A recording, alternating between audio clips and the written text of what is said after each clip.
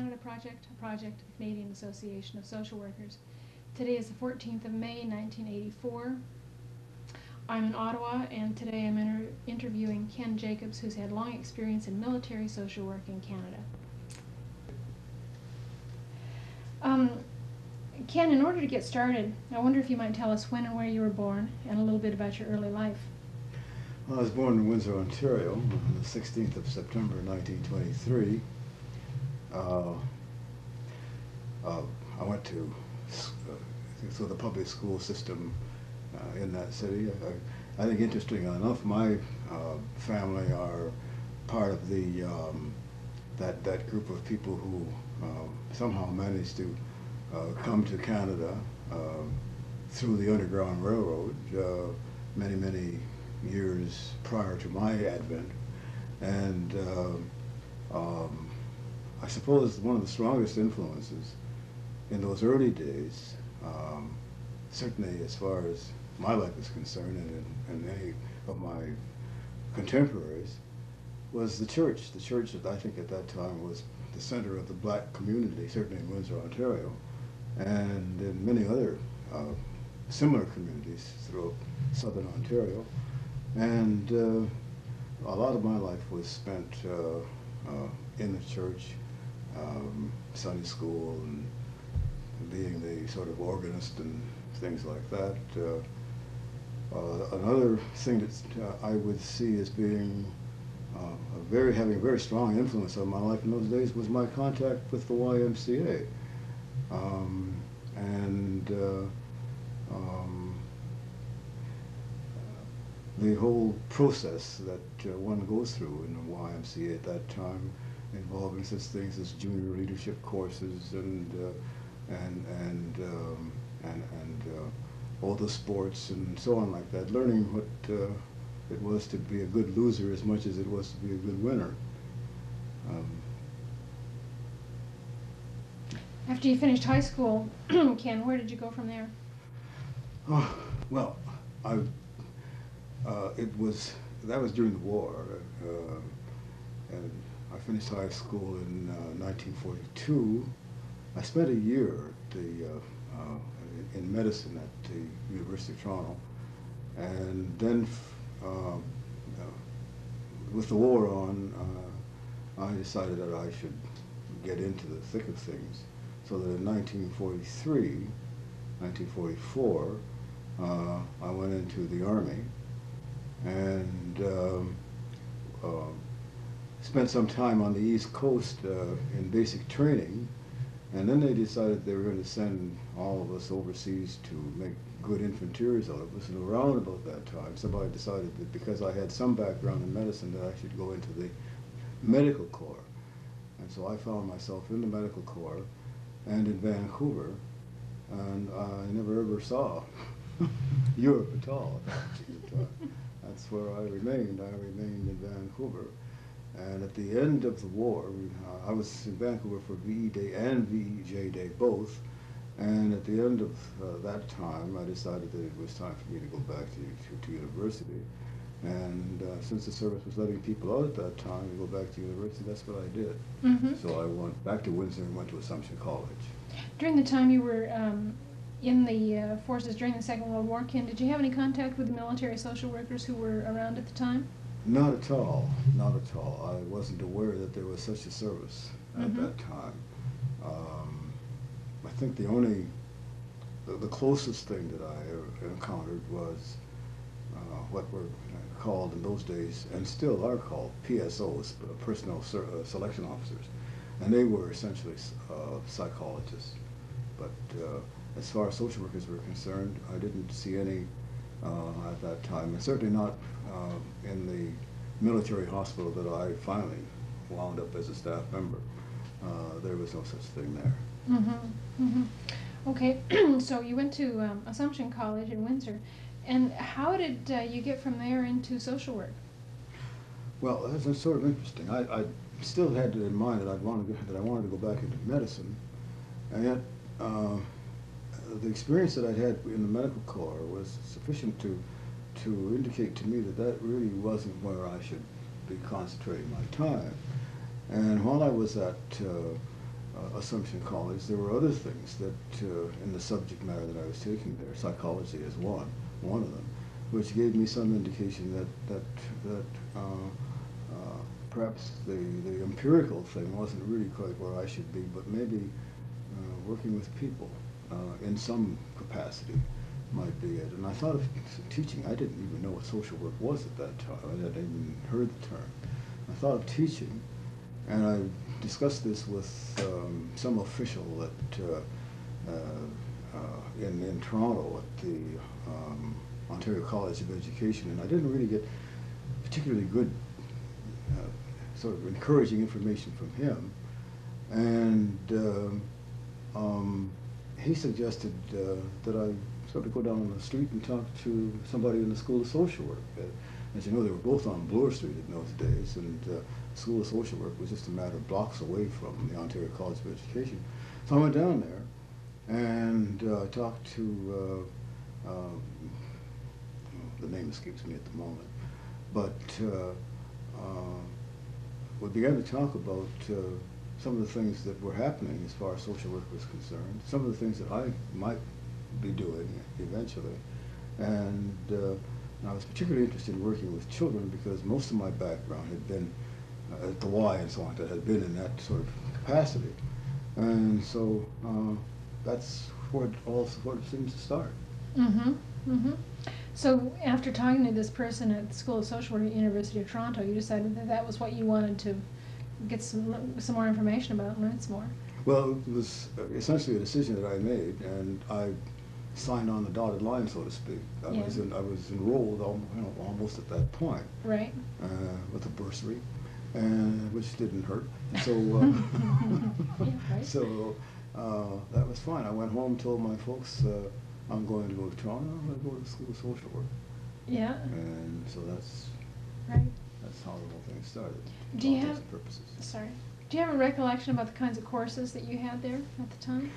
Well, at that time, uh, there was the whole concept of specialization, I guess.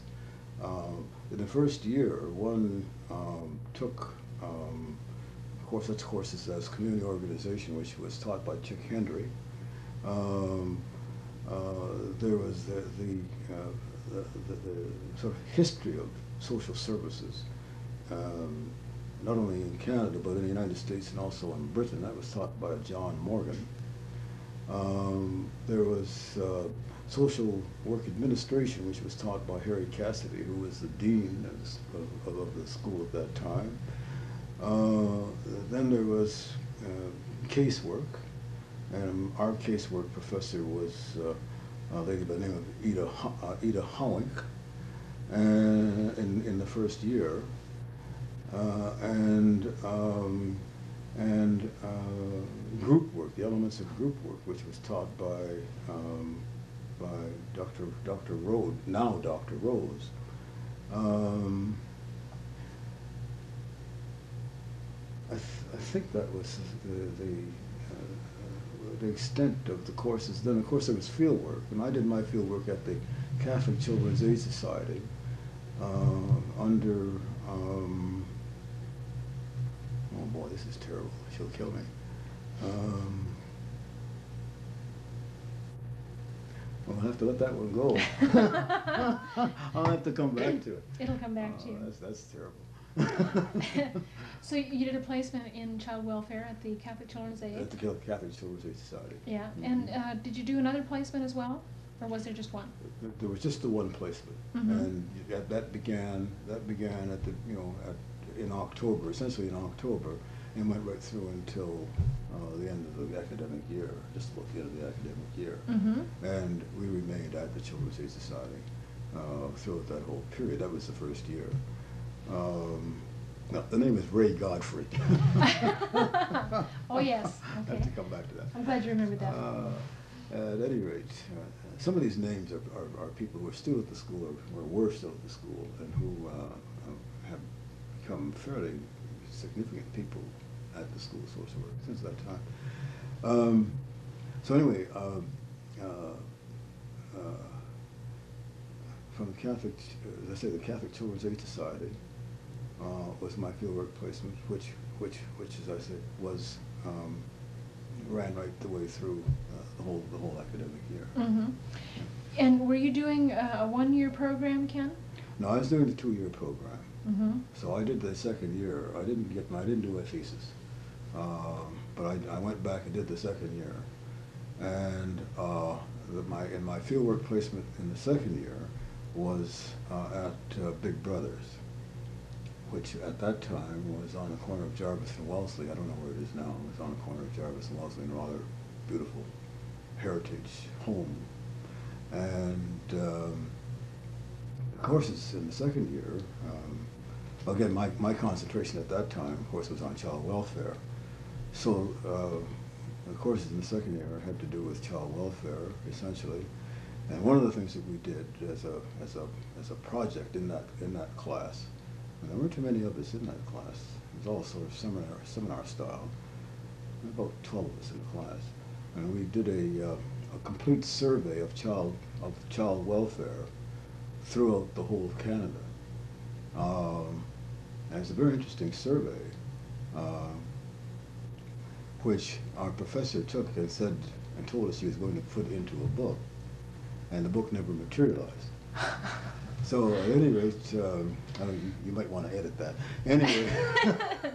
I don't think you've mentioned the name of the professor, so. I haven't mentioned the name. No. I uh, have quite conveniently forgotten that name.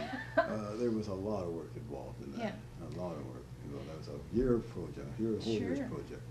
Particularly at that time, in 1947, 48, 49, there was a lot happening in child welfare in the country. Uh, Charlotte Whitton and, and, and the Canadian Council on Child Welfare. That's right. No, now Canadian Charlotte- Welfare Council. If you recall, Charlotte. Whitton was involved in, in Alberta at that time. And uh, the girl that I was working with, the girl named was Sabine Jaffe, uh, the two of us worked together on this, and we uh, took the province of Alberta as our contribution to that pro, to that particular project. Um, partially because of Sabine, Sabine's interest in it, and also because uh, I I didn't really have any particular preferences as to which province we took. Uh, she had uh, access to a, a lot of information, and uh, so together we worked on that project. So I, I got to know something about the, the child welfare concept in Alberta at that particular time. Mhm. Thank goodness there's, there have been some quite considerable changes in the way in, in Mhm. the approach in Alberta since that time. However, uh, that was a very interesting project. Mhm, I imagine it was. Yeah. Um, when you finished uh, school, you, you left with a bachelor's degree in social work. Is Yes, that that's right. Yeah. Mhm. And where did you go then? Uh, well, as I say, I, I, I did the second year, didn't do the thesis, so I had the bachelor's plus the, plus the second year. And then I, I thought I'd go, to, uh, well, I'd, I'd done the, um, I had the experience at the uh, uh, Catholic Children's Aid Society. Um, and uh, I'd, I'd heard that, uh, that they were hiring men, real live men, at the uh, Toronto Children's Aid Society. Was that, was that a new idea? It, it, well, I'll, I'll come to that. There's a reason for saying it that way. Uh, I went there, and uh, uh, uh, Stuart Sutton was the, uh, the uh, executive director of that agency at that particular time. And so he and I had quite a long talk about my going there. I think there were two things that were not necessarily concerns of his. And for that matter, they weren't concerns of mine either. Um, one of them was the, the, the fact that, uh, that, that I was a man going into that agency. Uh, the second was the fact that I was black. So those two things sort of uh, were things that we discussed.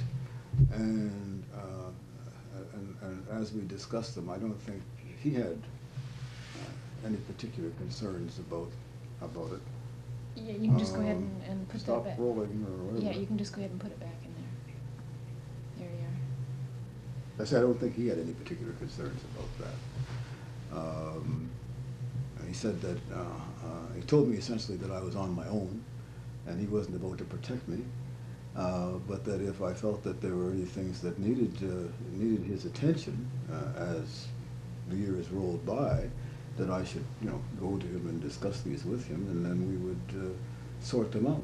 Mhm. Um, my experience at the Children's Aid Society in Toronto was, uh, essentially a positive experience. Um, uh, and I, I had no requirement to go to him and, and discuss anything with him uh, with regard to A, my being a man, or B, my being black. Uh, it, as I say, it was a relatively new concept, but at that particular time, uh, uh, a number of men were being hired on. Uh, one of them was Jimmy Gripton, another one was a fellow named Ian Johnson, um, Bill Dewar, uh, Doug, uh, David Cruikshank, um, and, uh, uh, and, and, and myself. Uh, we all were in one room together, and the women referred to that room as the smoke-filled room. I guess we were supposed to be playing poker in there, or something to this effect. But at any rate, uh, yeah, there was a lot of smoke in there. I must admit, we all smoked at that time, and uh, so it, it got a little smoky. Yeah. Um, Ken, what was it like for you as a man in, in a child welfare agency where the, a lot of the responsibilities are dealing with women who are having troubles with kids? Uh, what did you know about kids and child welfare at the time? Well, you know, beyond all of the sort of experiences, childhood experiences leading up to, to, to the School of Social Work, where one begins to try to distill some of this and put it together. Um, uh, not much beyond the book knowledge at that particular time. I wasn't married, had no children of my own or anything to that effect. Um, we, uh, uh, I, I was placed in what was known at that time as the child care department. So my main concern uh, dealt with uh, children who um, uh, had been removed from their own homes by the quotes protection department, and who either were in foster homes or were in institutional settings of some type or other. Um, the interesting thing about that was that uh, that um, uh, uh, a couple of the chaps were able to to uh, to hammer out with uh, with Stuart Sutton um, contracts which would permitted them to retain caseloads of 30 to 35 children. Uh, and, and, by and large, these were highly disturbed children that they were able to retain. Uh, I, I didn't have the smarts to do it, to do that.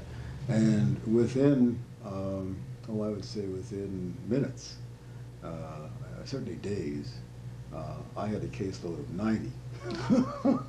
and a lot of these kids really were children that nobody wanted none of the social workers, the other social workers wanted them. So here was, here was I with this sort of caseload of 90 uh, with, uh, you know, kids that had gone through any number of foster homes and who just simply weren't able to, uh, to, to, to handle foster homes at all. And at that time, uh, the concept of foster home, I think, was, was, was sort of the be-all and the end-all. Turn everything off for Okay, I think when we left off, you were talking about foster care and how that was working at the time. Yeah, that was, I think, thought, I, think that was really seen as being the, the, the, the answer at that time. Uh, we had a very active home finding department. Uh, we used to go out and beat the bushes in order to provide us with foster homes, and then we would place children in them. Um, the kids that I had didn't really work out that, that well in that type of situation because they, they had too many uh, painful experiences, perhaps in their own, initially in their own homes, and then certainly with foster parents.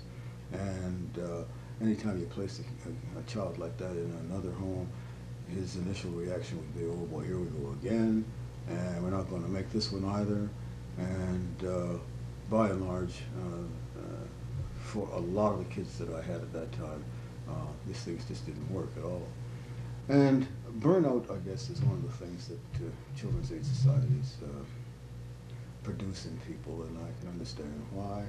You have to, you have to move on every case, get, and, and, and there's just no way that, and certainly wasn't any way at that particular time, that, that social workers could be protected from uh, the, the, uh, the, the community and the community's demand to do something about children which it perceived as being neglected or abused or whatever.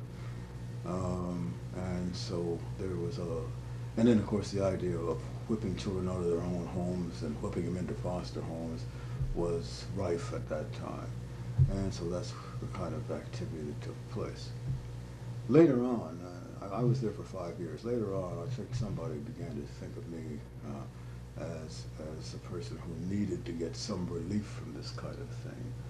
Uh, Jesse Waters, uh, uh, who was one of the consultants there, began to think that maybe it would make sense for me to have a variety of experience and not the same, you know, kids that nobody wanted.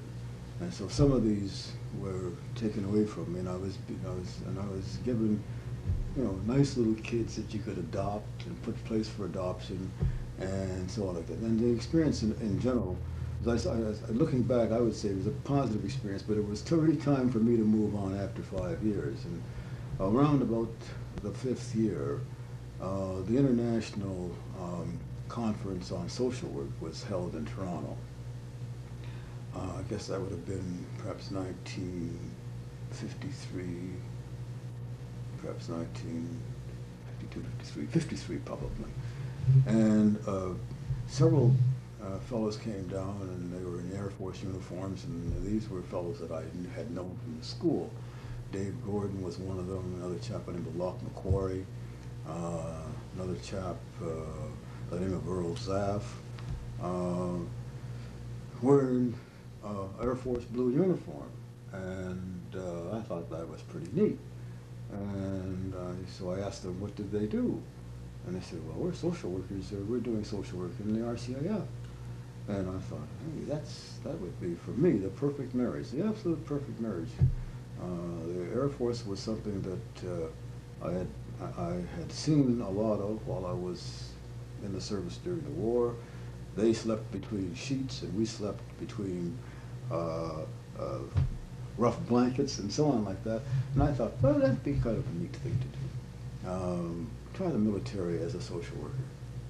And so I thought about it uh, for quite a while. At the time, I by this time uh, married. I had one child of my own. I'd married a lady who had two children. And it would be quite a move for her. She was a Toronto girl through and through, and, and I wasn't too sure how she might take to this.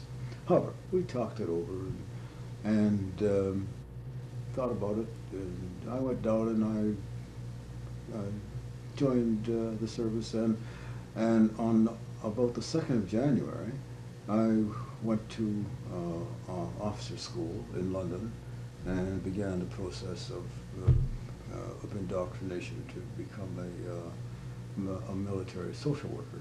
Mm-hmm. Ken, just to, to, put some context on this particular part, do you have a recollection about the salary comparison between uh, Children's Aid and, and going into the armed forces at that time? Yes. Oh, yes, I do. okay. Uh, I was making thirty-seven fifty, which was sort of top dollar for for a social worker with my experience um, at the Children's Aid Society at that time. And there was some thought of of my becoming a supervisor there. And I don't know what that would have meant in terms of dollars and cents because I didn't really pursue that. Uh, but at the time that I was leaving, there was uh, there was some thought of, of, of, of my uh, going going to that next level. Um, when I joined the Air Force, I was a, a flight cadet, and uh, in military terms, there's nothing that sort of crawls on the ground or that swims in the ocean or that is that, that, that burrows in the ground that is any lower than a flight cadet. And as a lowly flight cadet, my salary increased by 50%.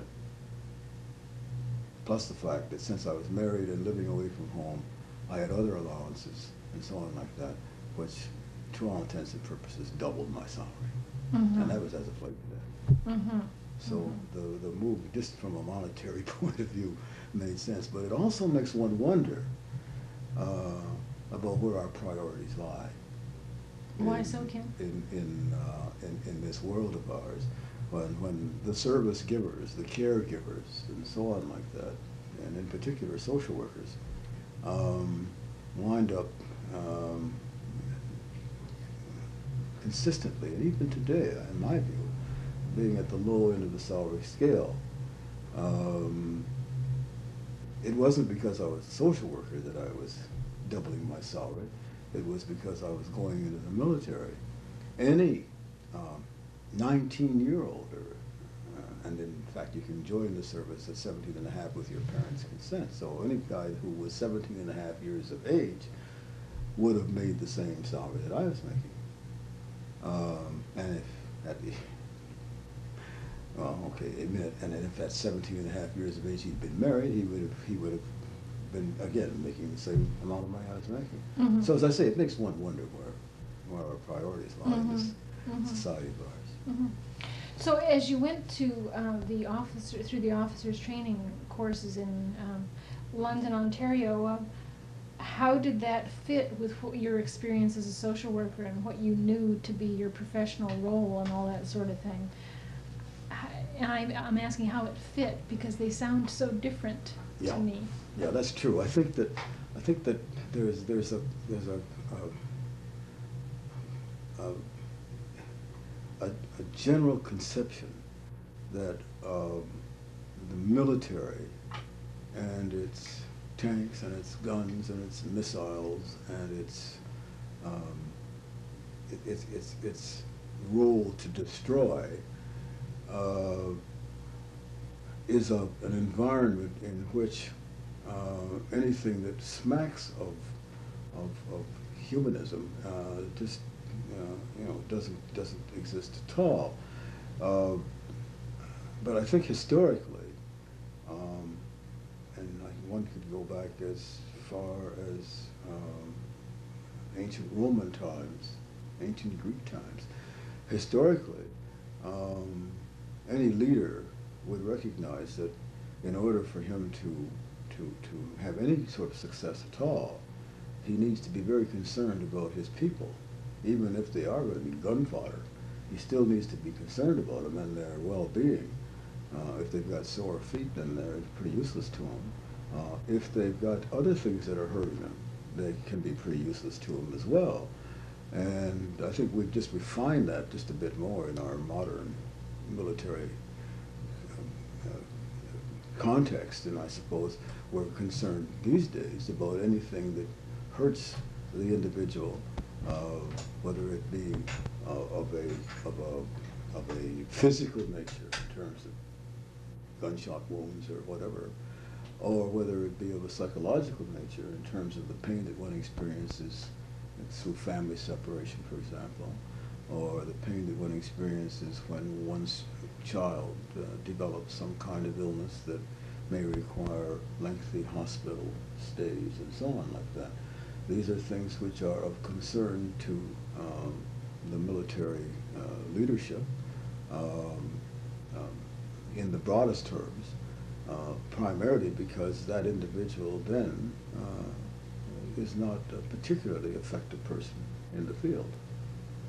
So, uh, uh, one of the things that I discovered uh, very, very early, and uh, this, this happened at officer school, was that the concept of military leadership wasn't that far, wasn't that much different from sort of the leadership concepts that I'd, uh, that I'd learned at the YMCA, for example.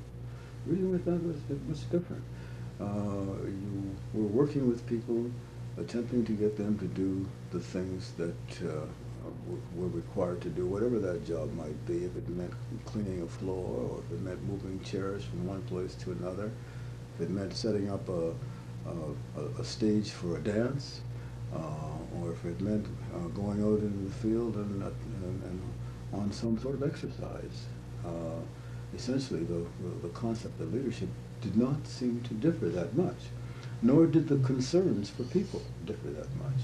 Um, uh, we were taught right from the very beginning that as officers, uh, it was absolutely essential for us to be concerned about the people who worked under us, or who we were, with whom we were working, or for that matter, the, our, our superiors. And it was just as important for our superiors to express that kind of concern for us and to be uh, that concerned about us as well. That was an expectation. Um, some handled it better than others.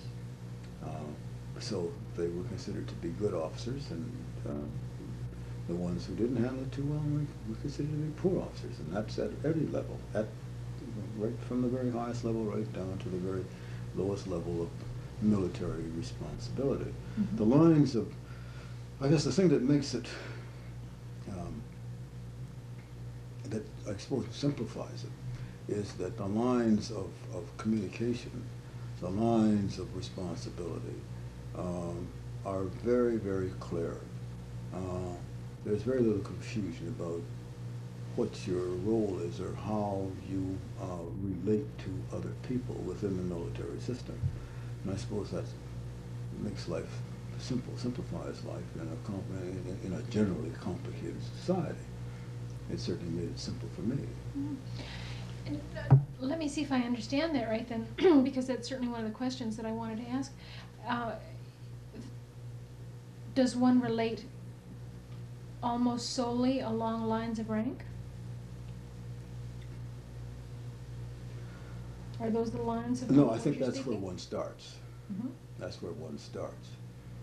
Um, I don't think that if, I don't think that anybody at any level in the military system would last very, very long or would last too long in any sort of situation if that was the only basis on which one related. Uh, relationships become much closer than that. Um, in a field exercise, and I haven't had that much experience with field exercises. I've, I've had some, but not that much. Uh, uh, but in, in a field exercise, uh, you become very, very close to each other. You, there's a, a, a very definite and very strong interdependency. And uh, unless, unless that interdependency works the way it is supposed to work and works smoothly, then anybody and any everybody uh, can uh, uh, come to a very quick destruction. So uh, the relationship develops along far more, far deeper lines and much, much more personal. It becomes a very, very personal kind of relationship. And I think that's one of the things about the military system that, uh, for me, has been very, very, um, um, very, very valuable. Uh, one develops very close relationships with, with numbers of, with a number of people, and those relationships persist. And that's particularly true of the social work branch because we were so small. And initially, I think there were something like 13 of us. And uh, as a small group, uh, we knew each other. We met annually. And uh, any other chance we got to meet, we met because we're all operating in offices by ourselves. And so it was absolutely essential for us to meet or to communicate somehow. And uh, any one of these people, um, any one of these people, uh, I feel very close to, Mhm. very, close to. You, you've known many of them for, well, all the time that you've been in the service, and some even before, I suppose. Well, yes, uh, as I say, there was Earl Zapp and uh, Dave Gordon, Locke McQuarrie. These were people who had been at the School of Social Work when I was there. Mhm. And uh, as I say, I thought, well, if these fellows can, you know, uh, find this a, a, a, a, a valid thing to, uh, to, to, to become a part of the military system, maybe there is something there that should be explored. And I was prepared to explore it for certainly five years anyway, Mhm. uh, which was the sort of uh, nominal period that, uh, that, that, that people joined up for. And if that worked, fine. If it didn't work, well, press on and find another job. You know, there's Mhm. no harm done. Sure. Okay, I'd like to, um, to move along, but I, I still want to keep that question about relationships and, and, uh, uh, communication lines, uh, Yeah. in mind. Perhaps, um, if you would describe, uh, uh, your work and your clients, uh, uh, that would help us get a better understanding of how things actually worked in the Mhm. days when you were first in military social work. Yeah. I always, uh, I, I tend to describe military social work uh, uh, much the way one has to think about social work in Canada in those days. Um, there were so few social workers And there were so many things that, that, that, that, one had to think about uh, in, in working with people uh, in a healthy capacity. Um, and it certainly wasn't any different in service. As I indicated earlier, um, uh, there were 13 of us, and we were spread across the country and in Europe, and, and, and, and into Europe, and, uh, and given large, large, vast territories to cover. Uh, I myself had the province of British Columbia to cover, and that involved any, um, any uh, military, any RCAF unit, regardless of where it was. Uh, it also involved communicating with parents of servicemen uh, who, uh, who, who might not have been too well and might have been a cause of concern for the, for the service person because uh, he might have felt, uh, or she might have felt, that, uh, that her presence or his presence was required at home. And we were required then to, to communicate with the families, visit them, and make a determination as to whether the um, uh, uh, military person should be posted to an area closer to, uh, to uh, his parents or whether in fact he should be out of the service. Now that at the time constituted, I would say, about 75% of the military responsibility that we had at that time. We were responsible for what they call compassionate uh, transfer investigations. The other uh, 75, 25 percent would have been marital problems, uh, by and large marital problems. But uh, the the job at the time was so vast, you know, it was overwhelming. It still is, but it was at that time it was so overwhelming that we uh, that our effectiveness was only as good as the resources that existed in, in, in certain communities where, or in the community where the situation uh, uh, uh, was to be found. And if uh, you had to go into a fairly remote community to discuss something with a parent, and you began looking for resources that might be useful. For example, something parents, two parents might not be pulling together, and this might be cause for concern for the for the uh, for the person who's in the service, and he feels that maybe if he goes home, he might be able to do something to uh, to help mother and father uh, live more comfortably together, or something to that effect. Uh, well, uh, the idea is to try to keep that individual in the service. Um, well, for sort of two reasons. One of them is that, that, that the services spend a lot of money on him, training him, but the other reason is that perhaps that isn't really where he should be. Maybe he should be looking out for himself and trying to to do something in terms of enhancing his own personal life rather than to sort of get involved with mother and father. So then you begin to look for a resource, and if the community is resource rich, then you can deal with it that way and make the individual comfortable and keep him in the service. Uh, if it isn't resource rich, then uh, you've got a, youngster in the service who's going around carrying a load of guilt, and perhaps he has to has to be has to sort of sacrifice his career.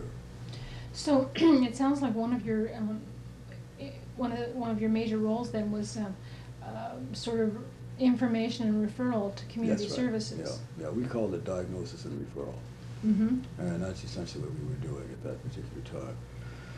Uh, people refer to it as band-aid service. You jump in, put on a band-aid, and get out. Uh, I suppose that's that's what it was. Uh, I can't see how it could have been anything else under the circumstances because there just weren't enough of us. Mm-hmm. Mm-hmm. So. and you were dealing with service people uh, per se. Did you have much to do with with dependents as sort of uh, separate units from the military person themselves? Well, I think this was a time when the service itself was struggling with that whole subject. Um, I guess Napoleon, uh, in his day, thought of uh, women as camp followers.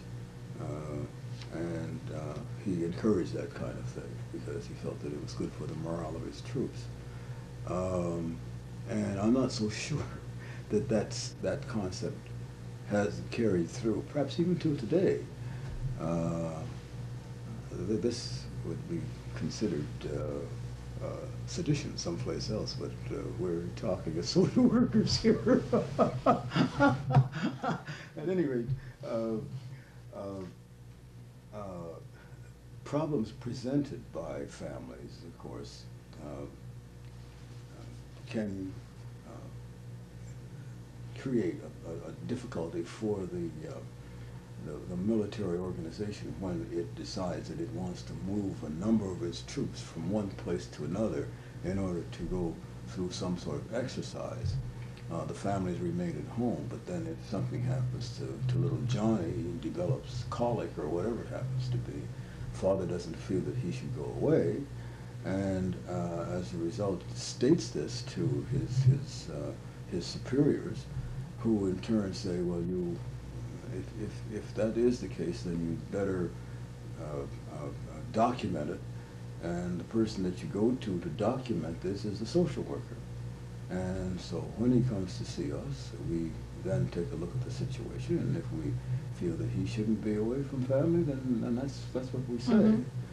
Um, so, um, uh, you know, from, uh, I think with, with, within that framework, um, uh, uh, the idea of, of, of, of, seeing family as being separate as and, and apart from the individual is something which, um, as social workers, we can't do. A lot of our writings uh, within the military system, uh, a lot of the things that uh, I have written, but not only myself, but uh, uh, more particularly the people who followed me, uh, Hub de Vaux, for example, his writings were, are, are, were and are more in terms of, of, of making a statement about the fact that the individual uh, military person cannot be seen uh, without reference to his family. And he has to be taken uh, as, as, uh, as being uh, as much a part of what goes on in his home as he is as much a part of what he does when he's out in the field on an Mhm. exercise or whether there's an actual um, uh, uh, skirmish somewhere. Mhm. And he must be seen in that light. And if one ignores that, then one is only shoving uh, uh, problems under the carpet. And there has been a great tendency, again, in the military system to do this from time to time. And it's only uh, as social workers bring these things to the attention of the authorities that, in my view, uh, uh, uh, things uh, tend to be seen uh, in an appropriate context. Mhm. um, following along those lines, um, what, let's see, how can I phrase this question? Again, about the relationship between you and, you would not have, um, I, from what I read, you would not have authority to say that that man should not go to, um, to another part of the country. You would make a recommendation to s- to his commanding officer. That's right. Mhm. And the commanding officer could do with that what he would? Pretty much, pretty much, although uh, things have become more formalized now. But let's go back to the early days. Mhm. Um, when I first joined up, one of the interesting things that happened when I first joined up, my, my very first trip uh, was to one of the largest bases on the west coast that we had at the time, RCAF station, Comox. And uh, uh, I walked in, uh, and introduced myself to the adjutant, and uh, and uh, he took me in to see the CO, and uh, the CO and the adjutant and uh, the uh, chief clerk of the order room, the flight sergeant in the order room, proceeded to show me that I didn't exist. I didn't exist at all. I didn't exist in any books. They said, "Hey, where, where what's this area social welfare officer? What is this? You know, you're not in the book. Uh, uh, let's take a look at the books." You know, and so I began to feel pretty, pretty, uh, pretty down, pretty, pretty sort of depressed about this whole thing. Of course, they were having me on, and I wasn't. You know, I was so, geared up to uh, do the best possible job I could do at that particular time that I really didn't know what was going on here. And so I went back to uh, to to uh, my shop, uh, uh, you know, on the mainland, and I, I said to uh, I said to my boss, you know, these fellows did this to me. You know, this is what they did. So I, he said, well, well, he says the thing you have to do, he says, is you got to be able to move the pages back and forth just a little faster than they do. He said, anyway, he said, leave it with me and I'll give them a call. I'll rag them a little bit. Don't worry about it. And so, okay, that, that was fine. That was fine. Um, uh, I had the concern at that time that, that if, if I didn't have any credibility, and obviously these boys were showing me that I didn't, or at least that's what I thought. Um, uh, if I didn't have any credibility, then how could I be of any use at all to anybody, anywhere? And so I guess I was pretty disappointed, uh, you know, pretty, pretty uh, depressed for a long time. Um, as time went on, um, uh, what I discovered was that um, that the system needed to have somebody saying to it, these are the circumstances which exist. These are the things that you fellows don't know anything about. We're telling you what they are, and this is what we think you should do about it. And um, uh, there was a lot of groaning about that because it meant, particularly with the people who were responsible for the careers and posting of people, it meant that they had to then change a lot of names and so on like that uh, in order to, to, to satisfy the whole posting uh, practice, which was to move people every three to five years. And sometimes if you said a person cannot be moved at this time, it meant that they may have to move three other people in order to accommodate the person who was staying where he was. Or it meant that it may have meant that they might have had to move three other people in order to move the person to where he had to go. And so there was a lot of groaning and weeping and wailing and gnashing of teeth and so on like that when this kind of thing came about. You social workers are creating this, you social workers are causing us this and so on like that. And yet, and yet, what they were saying at the same time was that the reports were clear, concise, and that they did provide them with appropriate direction as to which uh, way to go. And so we developed, um, we developed credibility, but they made us work for it. Mm-hmm. They made us work. Um, along with that line, and what about the relationship, again, in the early days, with the other, um, quote, helpers, end quote, in the military, the chaplains, Mhm. uh, the personnel officers, the medical people? How did you, uh, you know, you, you, you were sort of the new boys in, That's on the block. That's right, that's right. In that setting right. too, how, any situations that came up in that area for you? That's right. Oh, yes, indeed. Um, um, the, the, the, the, administrative people had, had, had great faith in the book.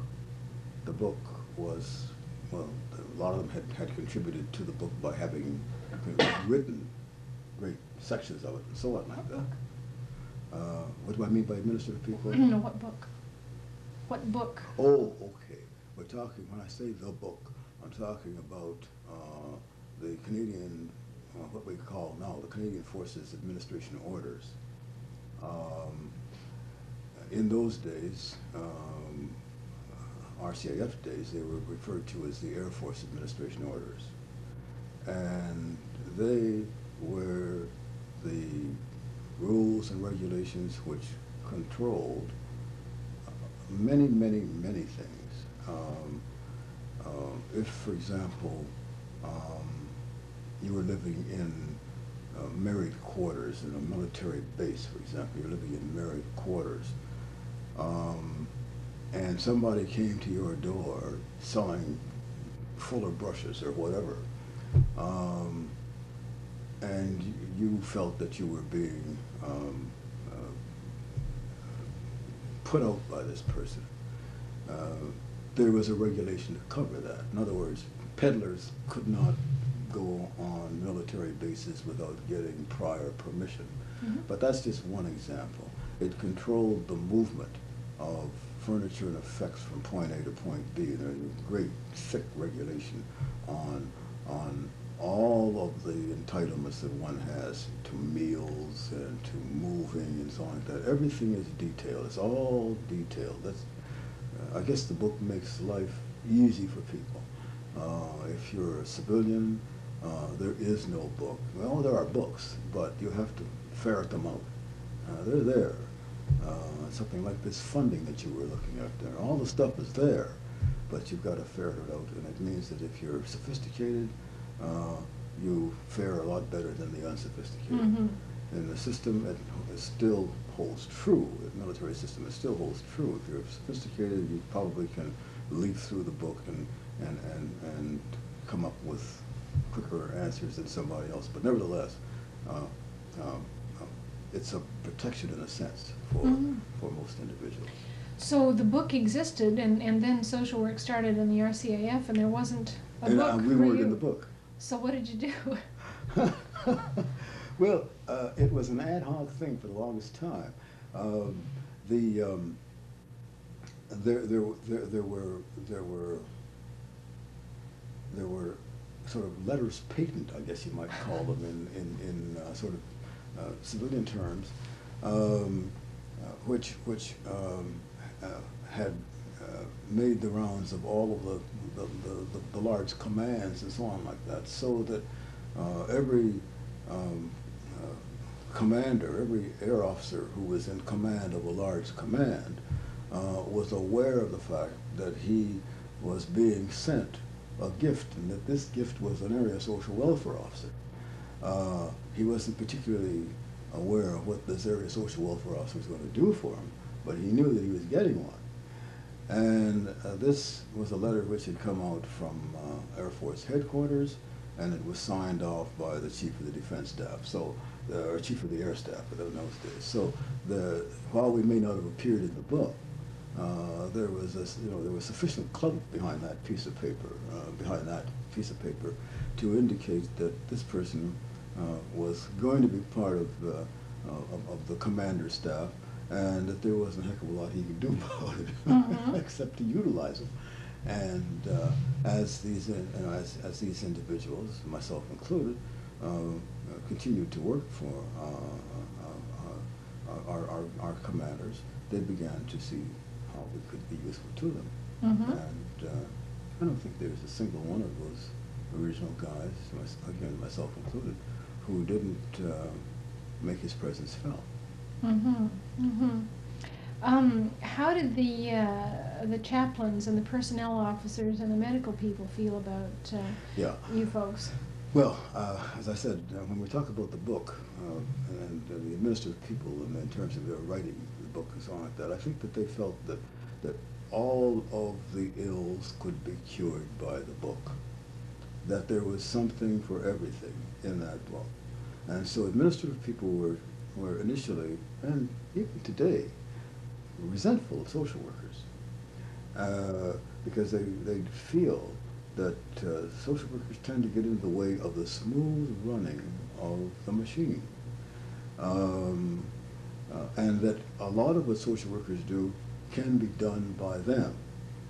Um, uh, simply because they have the, uh, they, they have the administrative know-how and they know uh, the rules and regulations. And this, this doesn't only apply to, uh, say, the military uh, system, but also applies to other systems, the federal systems which utilize uh, social workers. And I'm thinking of the Department of Veterans Affairs, for example.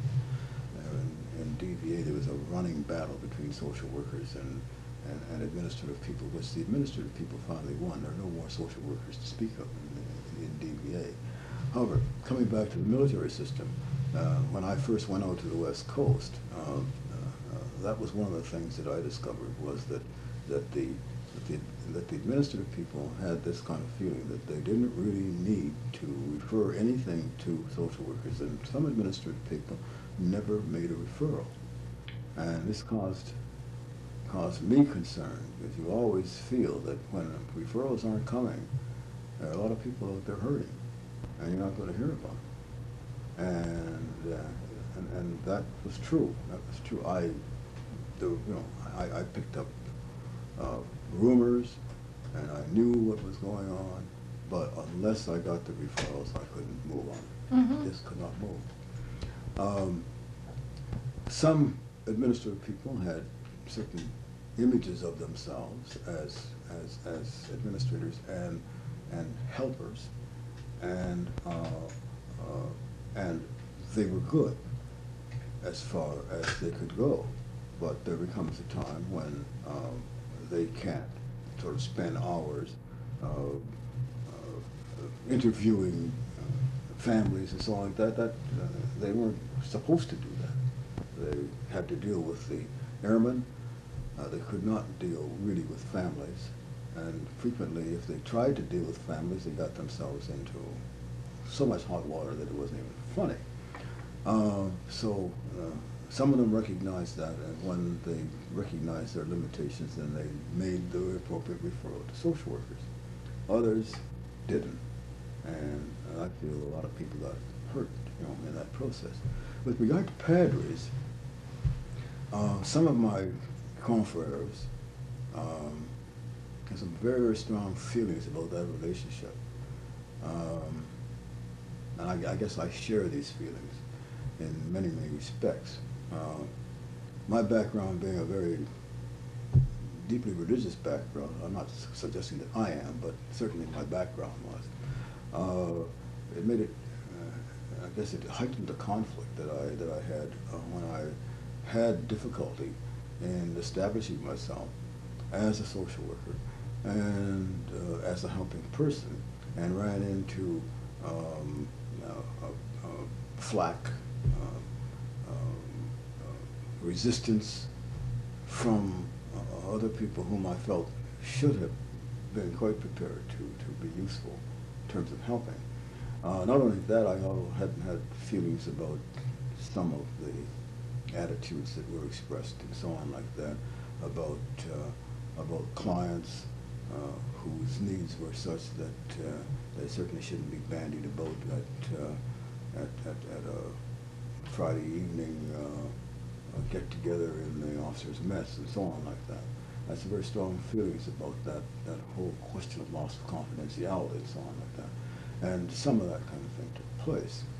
Uh, but in general, um, we felt that that uh, the Padres um, were trying to to sort of carve out for themselves some sort of um, uh, uh, method of, of, of working, if you like, carve out for them, themselves certain things that they could do.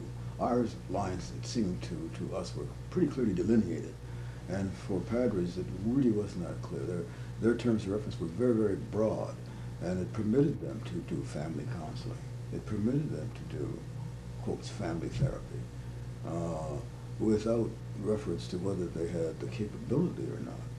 And in some circumstances, again, this, this got to be pretty deadly stuff, um, uh, in, our, in, in our view.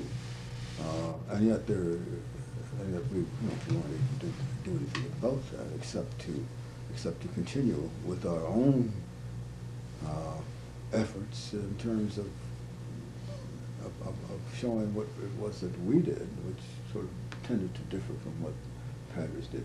We were frequently ask, where does your job start and where does the Padres job stop?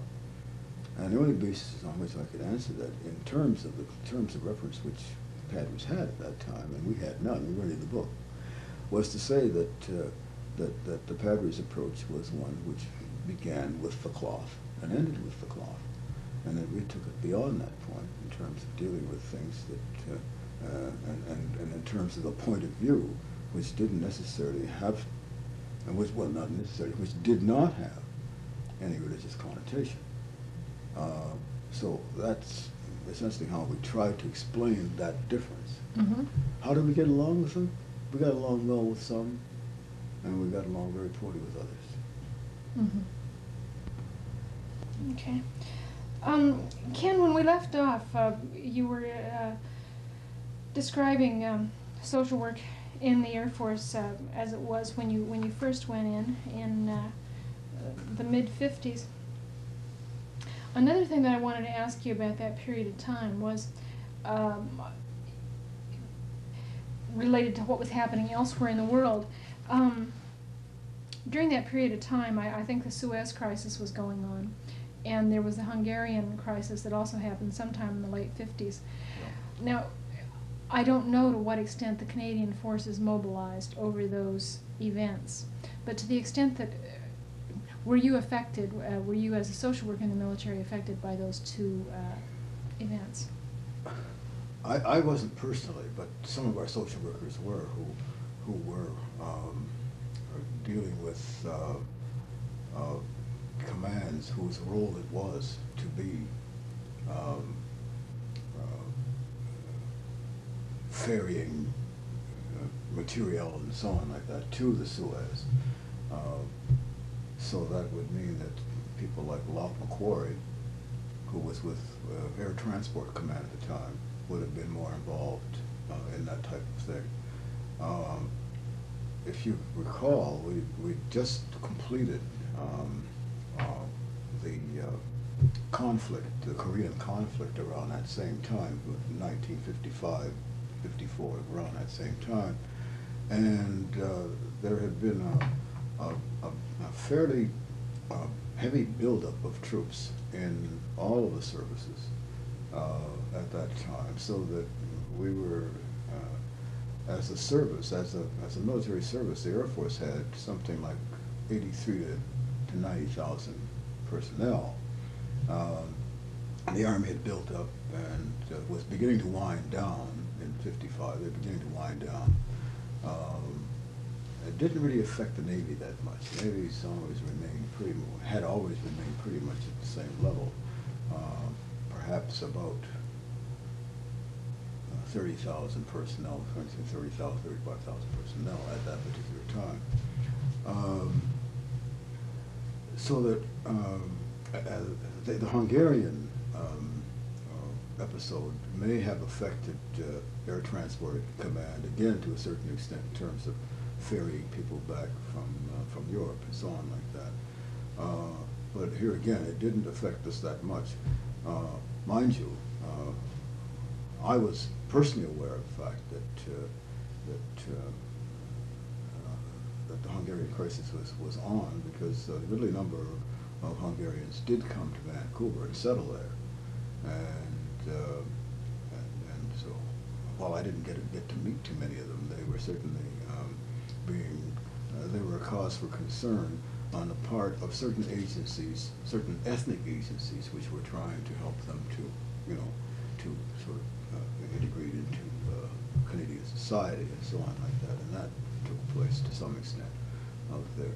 So uh, while we were aware of it, it wasn't something that affected uh, affected my particular uh, work mm on the West Coast, but it may have had some some effect. with some of our people in Europe and with some of our people at Air Transport Command. Um, let me ask another question then, just to make sure that I'm not losing any losing any information here. The question I'm trying to get to is whether uh, if there's a difference in your experience between social work, military social work in peacetime versus as in mobilization. Were you ever in a mobilization experience as a military social worker? Not as a military social worker, but if we're looking at, um, if you're looking at um, the, the, the, the, type of thing that I envision uh, as, as a wartime experience, as opposed to uh, a peacetime experience, uh, just the sheer oppressive numbers, particularly if country is in an all-out war, just you know, a total war just as it was, uh, say, the Second World War, where everything was given over to the war effort. It, Canada and the United States, in, in particular, right from uh, sort of the beginning, uh, right from the front end to the, you know, to, to the to, to the output end, which which is sort of troops and materiel, was one war uh, establishment, war factory, if you like turning out troops, turning out guns, turning out material, and so on like that. Um, and so the thing that you're confronted with immediately is a press of, of people. So military social work during the Second World War, while it, interestingly enough, uh, followed along very much the same lines uh, that, uh, that, that uh, peacetime social work followed uh, in its initial stages, uh, was um, probably over, not probably, it was overwhelmed because of the numbers of people. But then, because of the fact that the, that Canada was given over totally to the war effort, uh, social agencies in every community were given over to the war effort as well. Uh, and were very, very distinctly involved in, in, in, in the war effort. People who were on so-called dependence allowance and so on like that. Uh, any, uh, uh, they were dealing with mothers and children who were acting out or who were concerned about the separation uh, with father in Europe and no possible way of his coming back when various types of emergencies broke out and so on.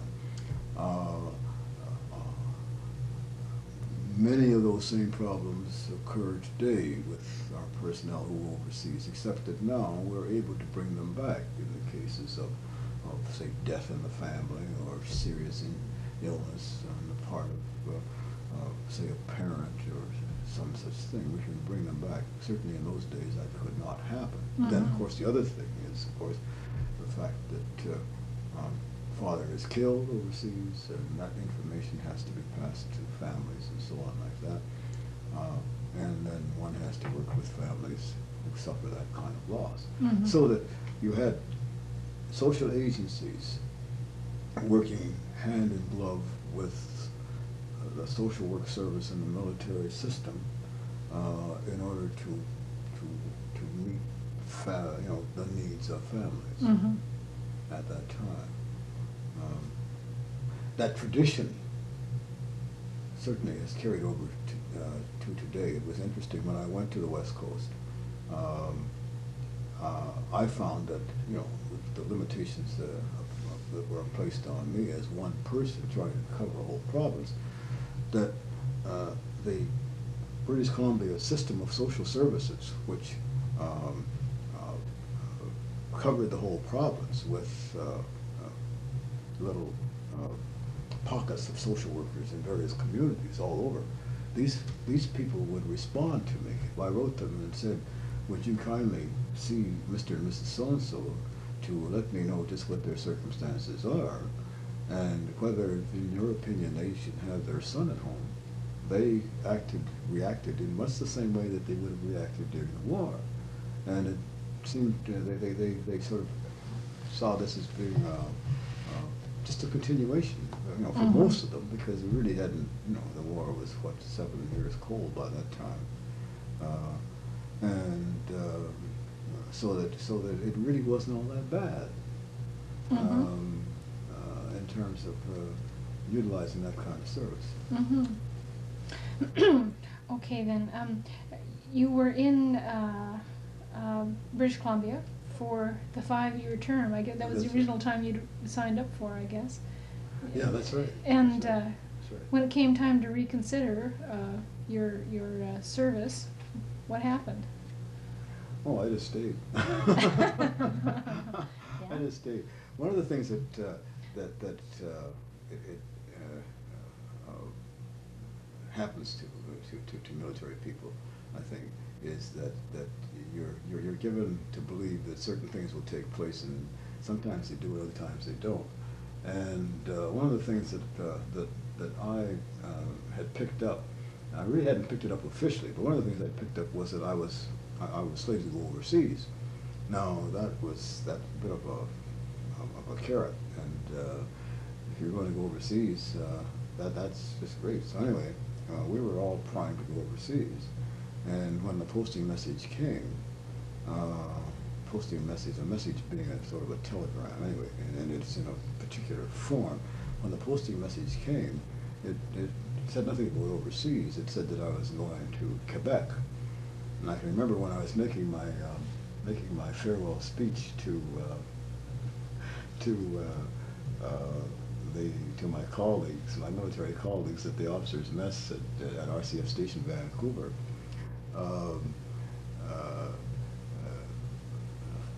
I, I said something to the effect that uh, I was told, I was given to believe that I was going overseas, and I find out that my posting is to Quebec, and somebody said, well, that's overseas. That's the same thing. And so that was fine. And so we went off to Quebec. We went to Quebec a long. We went by way of San Diego. We went down as far as San Diego on a, you know, on a holiday. Took my thirty days leave. We went down by way of San Diego, and came up through Chicago and Detroit, Windsor, and into Toronto. Visit my wife's folks and so on like that, uh, and then from there to Montreal. And uh, um, very quickly, I learned that uh, if I was going to survive in Montreal as a social worker, as a military social worker, I better, I better get the French thing sorted out very, very smartly. Um, I one chastening experience. I, I was a good French student. I enjoyed French in high school. I took it for a couple of years in university, and I, it, you know, I had no trouble with the language in terms of, of, of its, of studying it and of, of liking it or, or whatever. Uh, I thought, well, I should be able to handle this thing on my own.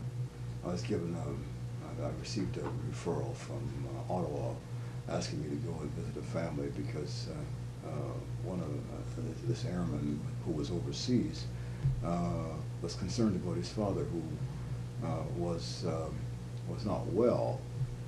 And so, okay, I went and I visited the family, and I spoke with the mother, and I asked her how her husband was.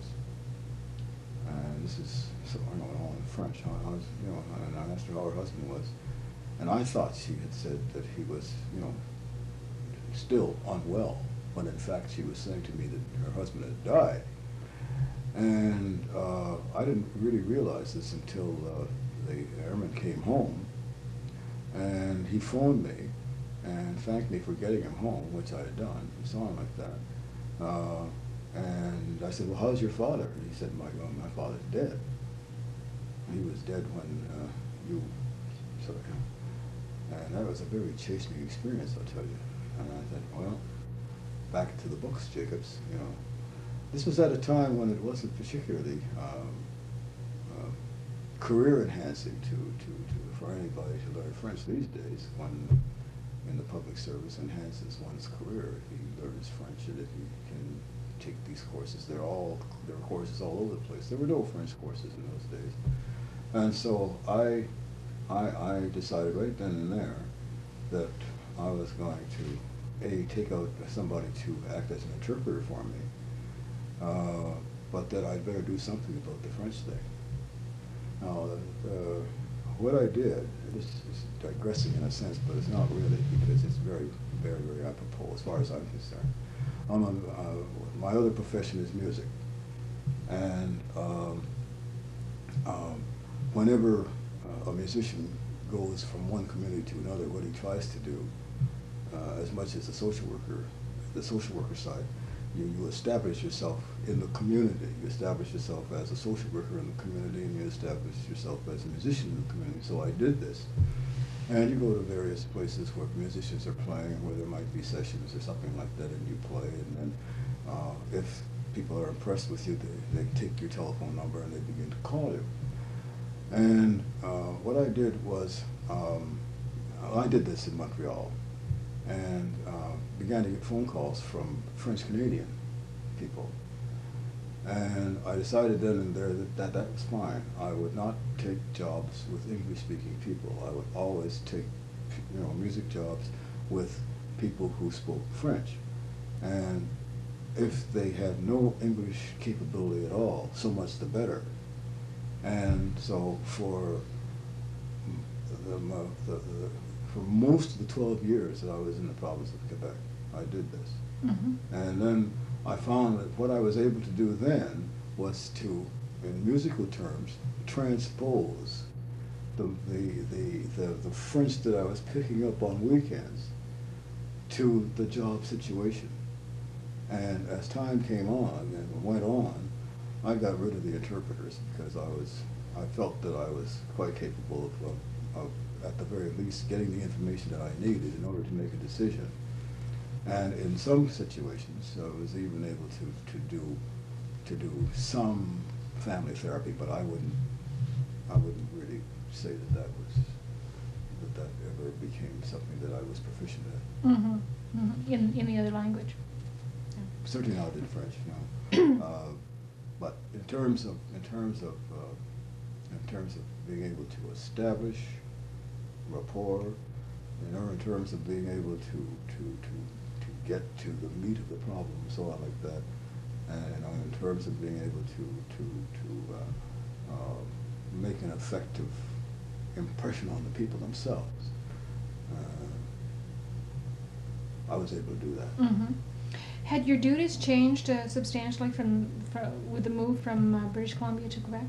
No, the interesting thing is that, that, that, that, with, with social workers at that time, and perhaps even now, perhaps even now, but anyway, at that time, it, uh, it, it, the duties didn't, didn't change that, that significantly. Um, it, uh, I received a promotion, I was promoted from flying officer to flight lieutenant. Uh, the counterpart of that would be a army captain.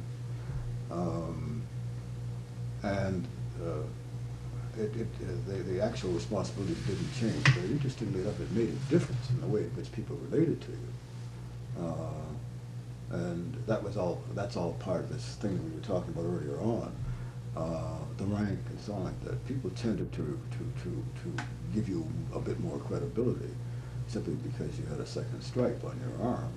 And, uh, well, that, that, that's okay. That's all right. That, that's part of the system, and that's how it works. The other, the other, the other aspect, of course, is that I, got more money. Very important consideration. Um, a couple things uh, happened during the time that you were in Quebec, which would have been 1960 to 1972, as you've noted here. Um, one was the unification of the services. What impact did that have on you uh, as a military That had social a? Very profound impact on me. Um, unification of services, that, that uh, uh, meant that all of my friends, all of my friends who wore blue suits left um, the area because concurrent with the unification of the services, there had, there was a need to develop a headquarters for the, um, uh, the ground element. We weren't calling them army anymore, we were talking in terms of elements. There was an air element, there was a sea element, and there was a ground element. And so there was a need to develop a headquarters for the ground element. And they'd been in temporary headquarters in a small community, in the community of Longueuil. And, uh, but they were, uh, were, were, were looking with covetous eyes at the, uh, at, at Saint Hubert, where I was stationed at that time, and which was at that time Air Defense Command. And, it, and, and they wanted uh, to move there. And they got their wish. They moved there. And the uh, Air Force, Air Element, moved away from uh, Saint Hubert to North Bay. And the only blue job that was left behind was me.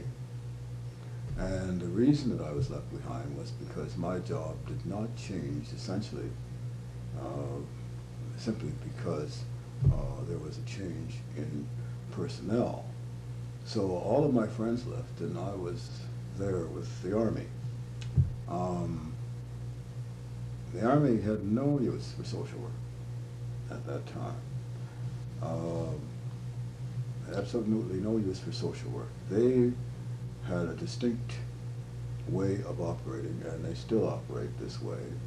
And that is to say that um, um, the responsibility for anything that happens to their men is the responsibility of the officer in the line.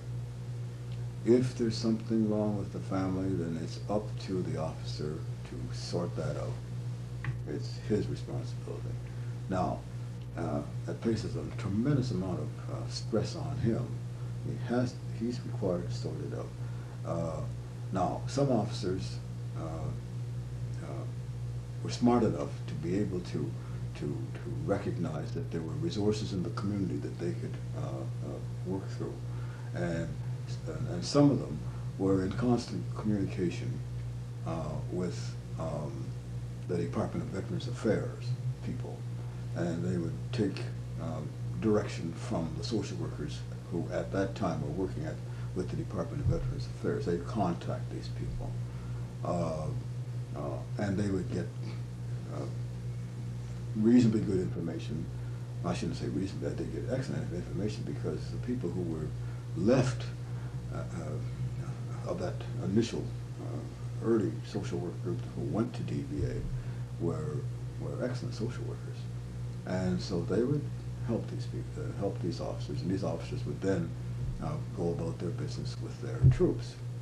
Um, but when they were confronted with the fact that they were, that they had actually, actually had social workers working side by side with them in uniform that they could go to, uh, most still preferred to phone the DVA people. Now, that was their particular ace in the hole. They, they would consider that that was, that's, that's what set them apart from the other officers. And they got, this is sedition again, but they got good marks for this. And in the assessment process, any officer who um, was able to uh, say, just provide just a bit more for his men in terms of help and so on like that, uh, advice and so on, of course, was considered to be a good officer in Army terms. Now, uh, this placed a you know, fair amount of, uh, of uh, so much, I would, I would say stress on, on, on me because uh, as, as, as soon as unification took, took place, I then fell heir to every military establishment that existed in the province of Quebec. It didn't matter what it was, it was mine. Uh, and I was still by myself, I might add, in the province of Quebec at that time. Um, and uh, uh, so one of the bases that uh, I began to give a lot of attention to was Valcartier. Um, first of all, because it was the most significant base around, and, and secondly, because it was Army and I needed to establish myself there. I felt I needed to establish myself there. So I give them a full week at any one given time. If there was enough work, and if there wasn't, then I'd press on and go up to Bagotville and continue on up at Bagotville, Bagotville being an Air Force station. But uh, the idea was to try to spend as much time at Valcartier as possible with as many of the responsible people as possible mm -hmm. in order to give them uh, a, a, feel for what it was that we did and then to, to, to, to, to hopefully get them to make, uh, to make uh, uh appropriate refer referrals. Uh, initially, they referred only those people to us that they wanted to throw out of the, uh, throw out of the army. If there was somebody they wanted to throw out, then they would refer that person. Uh, that was initially. Uh, and for the, uh, see, they came in in about 1967, and then 72 I left and came to, uh, to, uh, to Ottawa. But prior to that, I, they, Ottawa National Defense Headquarters took pity on me and gave me some help. So eventually I did, I stopped going to Valcartier. But in the two years or so, one or two years or so that I went to Valcartier, I don't feel that I really made uh, that much progress in terms of interpreting to uh, the responsible people what it was that I, that I could do for them. I think the base commander had a feel for what I was doing and very interested in what I was doing but I think that, uh, I feel that, uh, that, that for the most part, his, um, his, his uh, subordinates really weren't that concerned. Mm-hmm. Really weren't that concerned. There were a couple of things that they did to me there which were kind of interesting and kind of, kind of fun.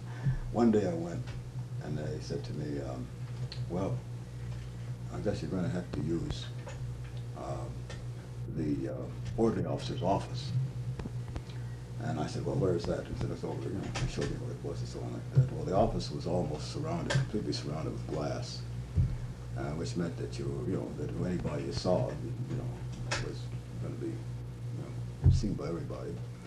And there was a bed in there, and there was a television set, and there was sort of a couple of tables. It really wasn't an office. It was really where the orderly officer sort of slept overnight. The orderly officer's responsibility takes, you know, is, is that he acts, uh, uh, during the quiet hours, he acts on behalf of the commanding officer. So he has to have a place to sleep, and they give him a television set so it entertains him. And, uh, he has a table where he can make his reports and so on. That's what they gave me. So that's fine. I've been used to working out of suitcases and out of briefcases and so on like that for years. So that really didn't upset me. The only thing that bothered me was the fact that anybody that I saw, that the whole world would know about it. Couldn't do much about that because that was the only place that they had available apparently. So I moved things around and carried on with my interviewing and so on like that, and I went out. Now, at the same time, I had to talk about the new chap who was coming in. There was somebody who was going to come in and was going to take over that area, that east side of the province. And so I went to talk to the uh, chief administration officer about uh, accommodation, office accommodation for this officer. So he said, "Oh yes, we've got a place for him. It's it's it's uh, it's in building so and so. We'd like you to have a look at it." So I went over to take a look at it. It was wasn't any better than this glass house that I just. So while I wasn't happy about the glass house. Uh, when that happened, I was, um, I don't want to use the words that came to my mind at that particular time, but I was most unhappy. And I went back and I spoke to uh, the chief administration officer, and I said, "Now, if you expect this man to come here and do a job for you, um, uh, you know, we, we need better better space than that. Otherwise, I'll just get in touch with uh, headquarters." and uh, we'll just forget about sending anybody up here. He knew he couldn't do that because his, his the, the, the CO had been making so much noise about having his own social worker. He'd better do something about it.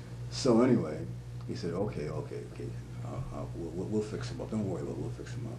And as I went out the door, he said, I'm surprised you didn't make any, I'm surprised you didn't say something sooner. They were having me on. I mean, these games these people play. Oh. Oh, dear. Okay. Anyway. Okay, the other event that I wanted to ask you about, um, which I believe occurred during that period of time, uh, was the October crisis um, in Quebec, where there was, Yeah. Uh, the forces were called certainly into there. play. And uh, as, as, as, as- as you know, I was stationed at Saint-Hubert. Um, The area where uh, Pierre Laporte was held was a street that I'd been on many, many a time uh, because of clients. It was a, the housing on that street was probably at, uh, uh, uh, at the time that I arrived in Saint-Hubert, it was the type of housing that a, a chap who was at, say, the lowest level in terms of rank could go and put a down payment of maybe three hundred dollars or something like that and have a place to live. Um, and, you know, in other words, he could buy a place with a down payment of three hundred dollars and monthly payments of something which were within his income. And, uh, the houses really weren't much to speak of, but at any rate, there they were, and, uh, uh, you know, a person who, whose income was not the best could, could, uh, you know, could, could go on. The name of the street was Armstrong Street at that time. They changed, they have since changed the name of that street. But anyway, I, I had a number of clients on that street from time to time. And so, uh, I was very, very keenly aware of, of all of this. And then, uh, in addition to which, Pierre Laporte didn't live, didn't live that far from where I lived. Uh, initially, I'd lived in Saint Bruno, but then we had moved into a town called Ville-le-Moyne, and he only lived maybe about six blocks away from where I lived. Mhm. And I knew his home and so on. And there were a couple of times when I had had occasion to write him about clients of mine, and he had intervened personally and done things uh, for clients of mine, which really impressed me, really impressed me. Um, and so, uh, you know, when, you have that kind of, uh, can't really call it a relationship, but when you have that kind of contact with a person, and the results uh, uh, were, were, were reactions on a personal basis of his, uh, on behalf of clients of mine, then you have, you develop some kind of feeling for the individual. And then when this thing happened, and we, you know, the, and the announcement was made on the radio, uh, I became really very, very disturbed. And I got in my car, immediately got in my car, and I drove over to the base.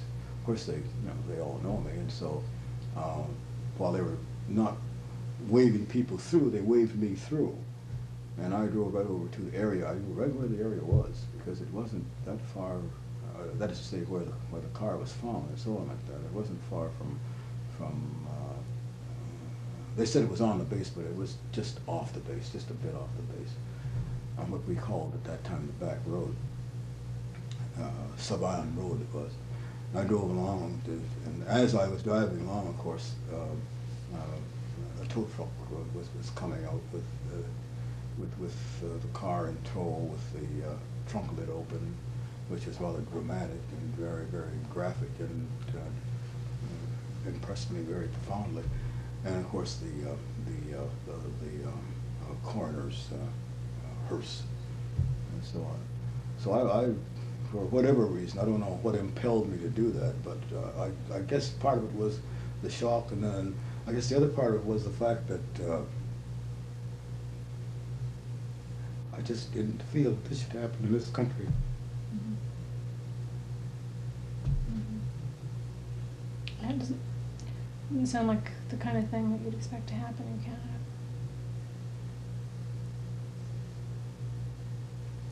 Did other, um, uh, around that, was military social work affected as the, the troops were called out and people became afraid that it was going to be more widespread? There was a lot of security at that time, a lot of security. Um, the next morning, I went to work, and uh, you know, you're, you're among people who know you.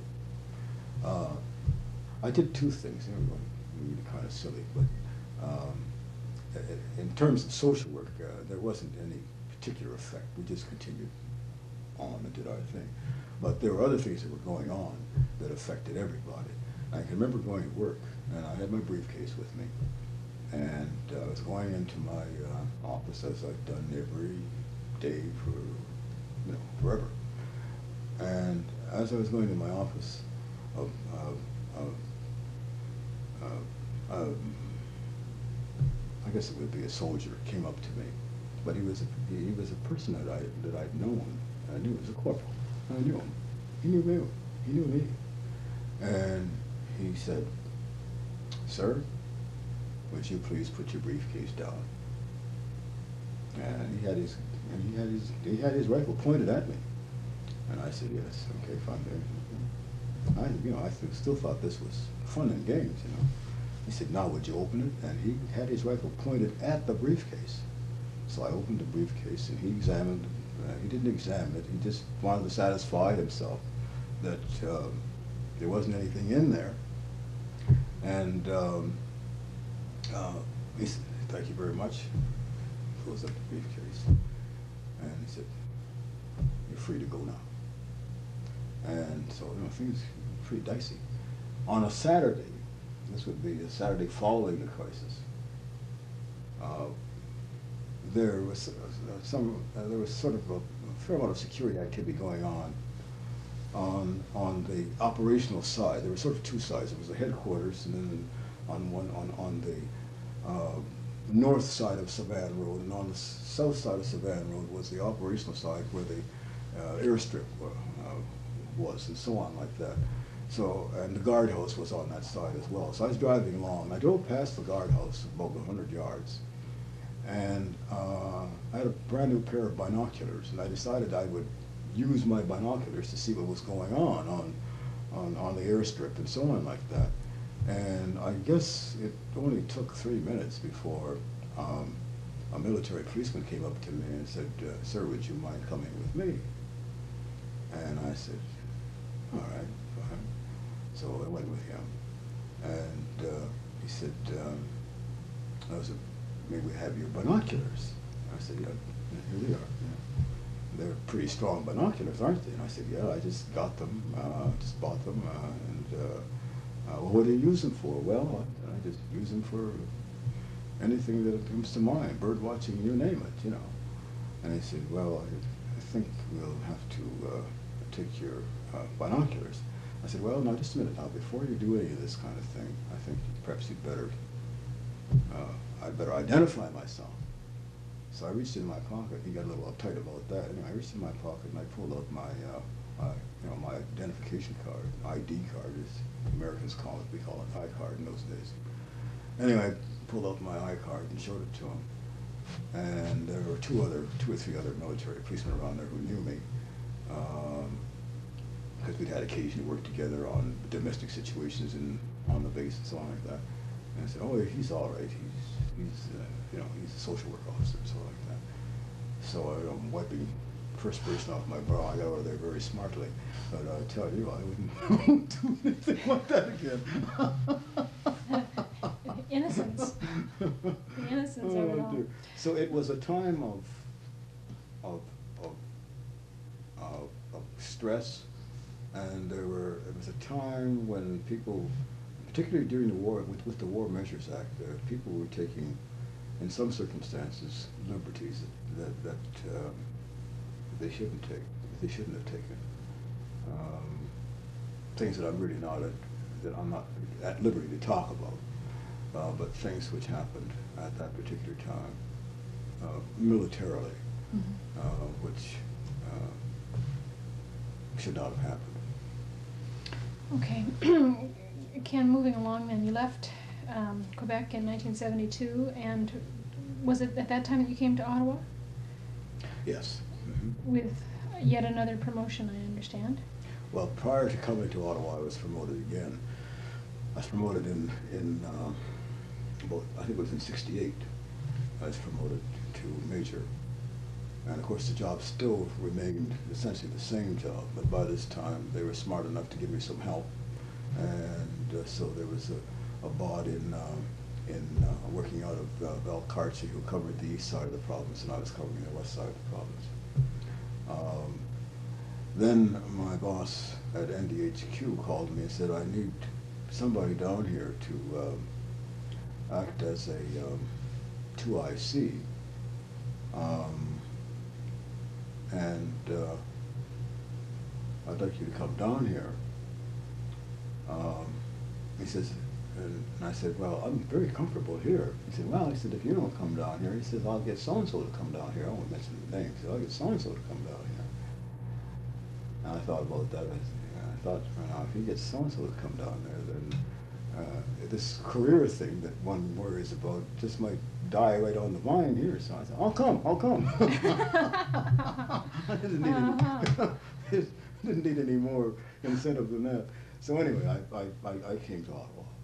Uh, I think probably uh, most people in the military system say, oh, we don't ever want to go anywhere near our headquarters, and in particular, we don't want to go to Ottawa.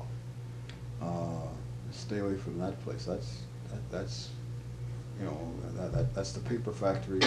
That's the you know the ivory tower, and they have other more uh, uh, uh, colorful euphemisms for this place. And so anyway, uh, I came down um, and worked uh, for uh, uh, Doug Carter, Lieutenant Colonel Doug Carter, um, for two years, and then uh, following that time, uh, following that point, uh, he retired, and uh, there was a some peculiar things that went on at that time that uh, are better left untold at this stage, and uh, um, but two years later than, in my view, than it should have been, I, I, I was promoted lieutenant colonel. Mhm. At any rate, um, the job here uh, uh, didn't really become interesting. Um, and you'll need to edit this too. It didn't really become interesting until Lieutenant Colonel Carter left. And then it became interesting because uh, uh, I was then able to, um, uh, as the so-called senior social work officer, I was then able to to to make uh, to affect some uh, to affect some uh, uh, some changes, Mhm. which were were were needed at that time, and uh, and also able to to go out to the field and uh, visit with uh, each of the social work officers, uh, just simply to let them know that uh, I recognized that the job that they had was of such immense proportions that uh, that, uh, uh, that that if there was any way in which I could provide them with support, I would. Mhm. Uh, that's about as much as I could do at that time because I had no authority. Uh, had responsibility, a lot of responsibility, I, so I felt, for these people without any particular authority. And um, as I say, that didn't come until two years later. Um, Excuse me, at the time that Lieutenant Colonel Carter left, did you become uh, the the commanding officer of of the branch? Or were you still uh, 2IC to someone else? I remained as a 2IC. They parachuted. Well, that's even not, that's not fair to him. In a sense, it's not fair to him. But uh, they brought in a chap who uh, uh, was, um, um, who had had a degree in social work, had his master's in, social work, but who had never utilized it. He was a pilot and, and had always been a pilot. And he was brought in to act as the director of social development services, which was the next spot that I would have moved into. I remained as the senior social work officer. And the, the thing about that was that, uh, uh, as I said, I wasn't being fair to him because, uh, because he was, um, uh, uh, he was excellent in what he was prepared to do for the branch. He felt, even though he had been a pilot all of his career, he did have some affinity for the branch. And he felt that I should remain as the senior social work officer and that I should be the decision maker when it came to anything to do with social work. I might add that that particular directorate had five programs. Um, one of them was social work. And so he let me run my show. And if there was anything that uh, needed his support, uh, needed his signature, he signed it freely. There was Mhm. no, there was never any problem with uh, Lieutenant Colonel Wilson Mhm. at all. Mhm. Um, and uh, um, I might add that uh, if it weren't for him, uh, I would never have gotten where I where I got. So as I say, I, I, to talk about it in terms of parachuting is to, is not to be is not to, to, to take away from him. It's just to talk about sometimes how the system operates, and sometimes it doesn't operate to one dis- one's Mhm. advantage. Mhm. Um, So I remained as the senior social work officer. Mhm. And you were promoted in, what, 1976, and became Director of Social Development That's right. Services, is that I became the Director of Social Development Services at that time. Uh, This was when um, Lieutenant Colonel Wilson retired. Then I became the Director at that time. Mm-hmm. Mm-hmm. Um,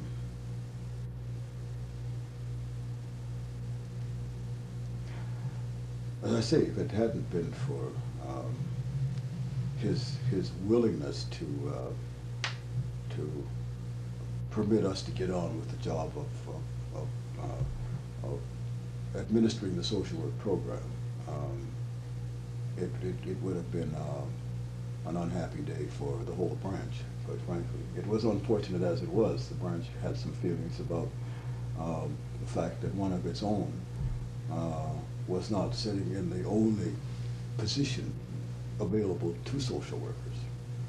Um,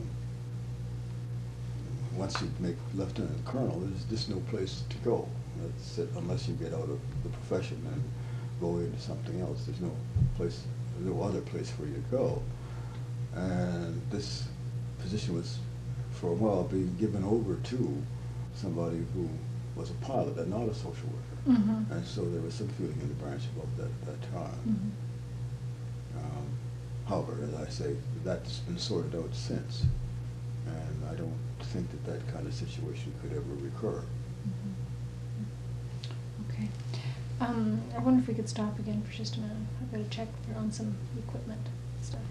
Can you? Okay, um, Ken, when we uh, broke there for a moment to, uh, to do a tape check, um, you were mentioning that, uh, about your promotion and uh, becoming Director of Social Development Services. Uh, During the period of time that you were in that position, what were some of the factors that made your job easier to do?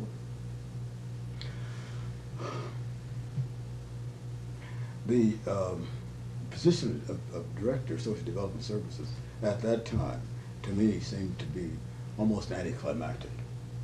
Um, because the, the, the real, the real work was as senior social work officer when we're talking about military social work. Um, when I became director, um, um, I turned over the job of senior social work officer to, uh, to, to, to Hub DeVoe. And uh, I, I then became responsible for the, for, for the running of the programs that that directorate was responsible for. And that happened to be drug and alcohol education at that time, uh, financial counseling, uh, program called the Civilian Employment Assistance Program, um, again, social work. There was one other. The, um, uh, the um, um, Canadian Forces uh, Personnel Assistance Fund, uh, which is to say uh, a benevolent fund which takes care of personnel who joined the service after uh, October 1968. Um, the uh, so uh, it became a job which was essentially administrative. Uh, there were a couple of times, there, there were a couple of times when um, I had an opportunity to get back into the field. One of our social workers became ill, and I said, "I'm going out and uh, fill in," and that was great. And I left, I left Hub to uh, take care of the shop while I went out and just got back into the job again, you know, as, as, as, a, as a military social worker. So I did that perhaps twice um, for sort of a two-week period. It was, it was, it was a great experience just to Mhm. get back into the front line again. Mm-hmm. Um, but it, the administering programs, um, um, uh, and also uh, shepherding some of the projects that were being funneled into my office from the, um, uh, the, the, the section heads, uh, people who were responsible for the programs, and making, making certain that those, that those projects got into the right hands and eventually were either accepted or not accepted. And uh, in that particular directorate, um, uh, when you've got uh, some pretty uh, highly motivated people uh, working for you, you don't really have to, you don't have to tell them what to do. They just go ahead and do it, and the ideas just come, and it's, it, it was a, you know, really a great experience to be able to, to, uh, give these people sufficient encouragement so they could go ahead and do whatever they need to do. They didn't even need that much encouragement because, as Mm. I say, they were motivated, very strongly motivated to go ahead and do what they, do the, do all the good things that they could do. Mm-hmm. And so, uh, as I say, it was really quite anticlimactic because at that time, in that particular job, they really I didn't really feel there was too much for me to do. I think I was most productive. I think my most productive times were spent as a senior social work officer. Mm-hmm. Okay, Ken, you, you, you left the, uh, the Canadian Forces in nineteen seventy-eight. Why did you leave? Uh, well, it was um, compulsory retirement age time. I was coming on for 55, which would have been compulsory retirement age, and then on the 16th of September, I would have been forced to get out anyway. Um, there wouldn't have been any way of extending, Mhm. and nor did I feel that I should. Um, there were, you know, good people coming up behind me, Mhm. and uh, um, it wouldn't have been appropriate for me to have to have, ex- to have extended. Um, and there was an opportunity. Um, I'd applied. Uh, I saw this advert in the paper for a job with visiting homemakers, and so I applied for it, and I got it. And uh, having gotten it, and I was then pretty well committed to leaving the service. I left the service in February, uh, rather than to stay till September. Mm-hmm. Um, whether that was a wise decision or not, it uh, remains for me to determine at some later date, perhaps when I'm 95. I- Well, I'll come back and ask you then. Yeah. Okay, you were executive director of Visiting Homemakers in Ottawa for a couple of years. Um, but, and I want to acknowledge that, but I want to return to your, uh, to your military career, uh, Mhm. most primarily. Um, First of all, I wanted to ask, and I'm sorry, I meant to ask you this earlier. Did you have any involvement over the years with the professional association, Canadian Association of Social Workers? Uh, Only, only that, that as far as, as we were concerned, as a, as a branch, uh, a person must have eligibility to be uh, a member of the Canadian Association of Social Workers in order to make him acceptable as a, as, as a military social worker. Mhm. Uh, in terms of uh, any direct communication with CASW, uh, from time to time, uh, very little. There were a couple of times when I needed some, some statistical information when I was, uh, when, when I was uh, the director here, and I phoned uh, and spoke with people at CASW, got the information I needed, which was very valuable, uh, because it, it, it was the basis, uh, it, it, the statistical information that I wanted formed the basis for determining how many people I thought we should actually have as military social workers. Mhm. And so it, uh, it was, it was a pretty important, uh, contact that I made at that particular time. Uh, and, uh, uh, not only did it form the basis, uh, for, uh, my determination of how many people I felt we should have to be a viable service, uh, but, uh, that information was used, uh, fairly, um, uh, uh, often by other, by other people who followed me. Um, I'm smiling. Uh, there are some things that come to my mind, but I think that if uh, John Hanson hears what I'm saying now, uh, he'll tell you why I'm smiling. I'll have to make sure he, he, he make sure he hears it then. Okay, to go back then to, uh, to your career, uh, in military social work over the years, I wonder if you could describe some of the, some of the changes that you saw over that period of time, nineteen fifty-five to nineteen, what, seventy-eight? Yeah. Um, well, I think changes. The, the, the, the, the, the most significant change, I think, is is the question of credibility. I think we've won our spurs, um, even with the army. I think that came three years ago, uh, and I think we've managed to, to do that. We won our spurs with the Navy a long, long, long time ago. And the same holds true for the RCAF because the RCAF started this whole thing. And uh, the Navy uh, has no, had, had no trouble with us at all. Uh, They, they uh, um, recognize, uh, you know, the requirement. uh, the Army with its feeling about, uh, about uh, the responsibility of junior officers in particular and what they should be doing for their men and the lay-ons that exist there, uh, finds that the social worker comes into conflict with, with with what is referred to uh, as the regimental system. Mhm. And uh, they feel that unless the social worker is part of the regimental system himself, then he is an outsider, and as a, as an outsider, cannot be of any particular use. Uh, Now, there are some compromises which are now taking place, uh, which uh, uh, will, I think, help the Army as much as it will help social work to um, sort of come to terms with that, with that particular regimental system problem.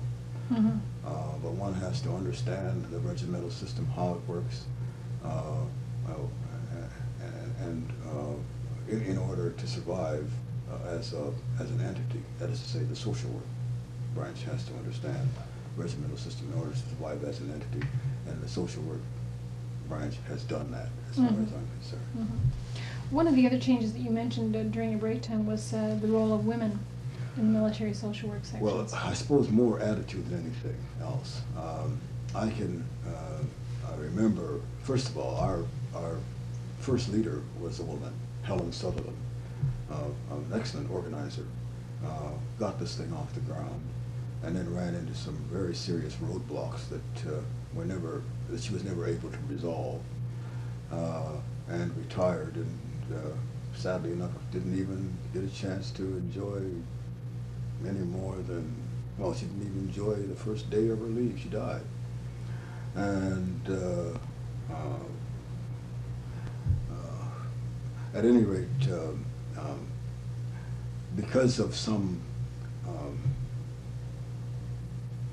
things that uh, happened at that particular time, I suppose, with Helen and so on like that, the attitudes began to harden as far as the, the, um, the, the, the original 13 were concerned. And um, there was Against girl- women? Pardon? Against women in, in the military Yes, against women, oh yeah, very, very strong attitudes were beginning, uh, not only began to develop, developed. And uh, so, uh, we got a, uh, a, a rec- uh, a recruitment notification from uh, a recruiting unit, and I can't remember where the recruiting recruiting unit was now, and that's not significant, that a young woman wanted to come into the service. And uh, so a meeting was held. We had a meeting. Uh, they called me in together with a few other people and uh, to meet to determine whether or not we should recruit this woman. And uh, at the time, Cliff Taylor was the uh, our, our great leader, and uh, I guess he must have had some conflict about it. Otherwise, he wouldn't have called the meeting. Uh, but he wanted to get a consensus, and so uh, there was a very, very strong feeling at that time about uh, about this gal coming in. Uh, some of it related to uh, uh, related to, to to to the problems with Helen, but a lot of it related to the old bromides that we hear about pregnancies and marriage and all the rest of this kind of thing. And at that time, of course, the service really wasn't very kind, didn't look very kindly upon women who got pregnant. It didn't matter whether they were married or single. It didn't look very kindly on women who got pregnant. If they got pregnant, they got turfed out. That was it. Bye-bye. Ken, about what year did this meeting take place? Pardon? About what year would this meeting have taken place? Well, this meeting would have taken place in, oh, maybe 56, 57, somewhere Okay. around there. So what was the result of the meeting about whether or not this woman should be, uh, Well, become a military uh, social worker? the, uh, I, I argued very strongly that, uh, that um, we, we, we couldn't afford not to, or we couldn't afford to refuse to hire women. I said that would be tantamount to saying that I should not be in the service because I was black, or that somebody else should not be in the service because they were uh, Japanese or something to that effect. And I felt that this was as much that kind of prejudice as anything. And the boys didn't say a word. The girl came in. Now, six months later, she got married. And she got married, and she phoned my boss the day after she got married and, and uh, uh, the day before she left the service. However, uh, I think the argument was valid, regardless of what she did. I think the argument was valid, and uh, and there was there has never since been a question about hiring women. Mm-hmm. And if a woman uh, uh, applies to, to join, um, she, you know, she can go through all of the uh, ex- uh, uh, experiences that one has to go through at the way in which officer schools operate now, and come out at the other end, then she's in. Okay. I want to move now to a couple, couple summary questions, if I might. Um, one is uh, about your own accomplishments as you look back over your career as a social worker. Are there things of which you're particularly proud or pleased that you've done? Well, I think the opportunity to work in a setting where um, there's a, you know, a fair amount of freedom to practice social work and to put into effect, you know, those things which you um, think should be should be done. The other thing that I think about when I think of social workers in the military system, and I think of myself as a social worker in the military system, is the fact that uh, we were and still are, to a large extent, the the office of last resort, and that the individual will have tried uh, and contacted as many helping people as possible in a process of trying to get something done for some painful situation that he's experiencing. And uh, we find ourselves in the position of being the only people who can be of any use to him. And to me, that, that, that I've always found that to be a very, very satisfying, a very, very, very satisfying thing. Uh, the, uh, in terms of achievements, uh, I guess one of the things that, that, that I feel very, very good about um, is the fact that um, we uh, lost for a period of time our, our ability to train uh, qualified or, or people who had prerequisites to train uh, these people to master's uh, level within the service itself. Uh, and we lost that, that um, capability for about two years. Well, perhaps longer than that, four years actually. And uh, I was able to turn that on again. And uh, it's possible now um, uh, for an individual who has pre the prerequisite subjects, who has a degree uh, with the prerequisite subjects and so on like that, to go to a school of social work and uh, become a military social worker. Now, mind you, that's based on whether or not we have a requirement uh, for uh, for uh, people, uh, and at the moment we seem to be low, you know, filled. But when there is a vacancy, it is possible for us to train a person, Mhm. uh, you know, within the military system to become a social worker. Mhm. And uh, on the basis of that, we've got some people who started off in the service years ago as private soldiers or as